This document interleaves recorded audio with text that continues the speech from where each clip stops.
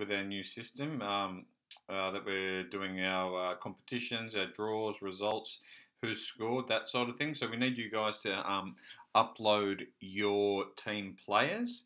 I'm just going to show you how to do that. Hopefully it doesn't take more than a couple of minutes. So if you just head to uh, ausminifootball.mygol.es, like we have here, hit sign in.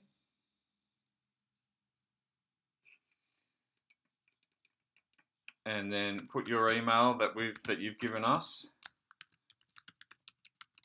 And then your password.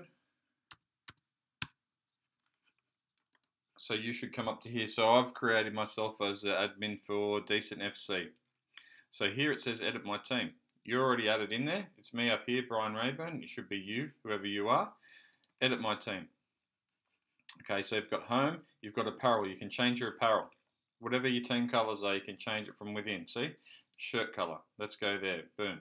Okay, I'm going to keep it to black here. Same with this one.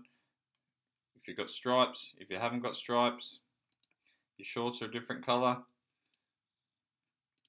And your socks, a different color.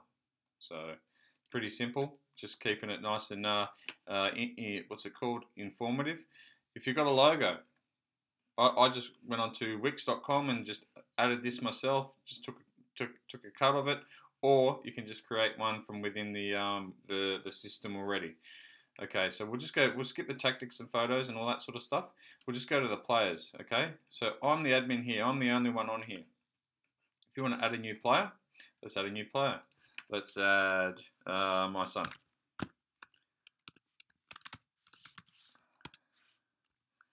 Uh, X, Y, Z at hotmail.com. Okay, so you've got to put their, their, uh, their email address in and the mobile. see if it can save with my phone, my mobile as well.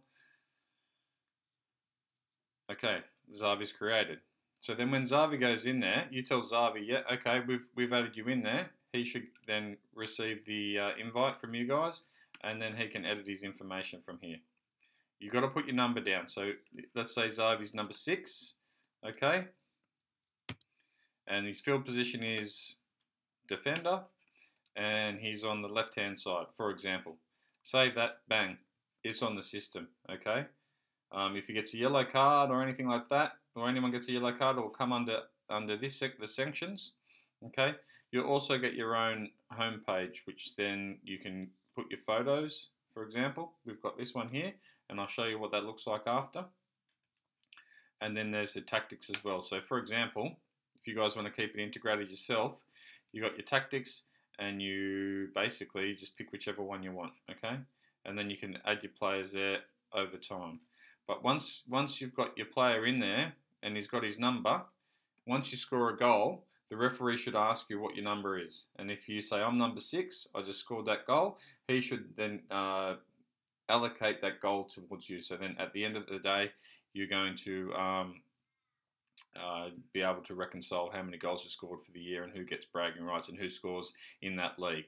So that's basically it. We need you get upload all your players onto your team page, okay? Um, and I'll show you in another video uh, how it looks on the outside and to check for draws, results, that type of thing, tables. So thanks.